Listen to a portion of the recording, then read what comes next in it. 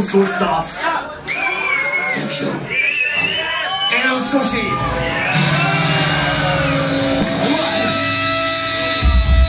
Are you motherfucking ready?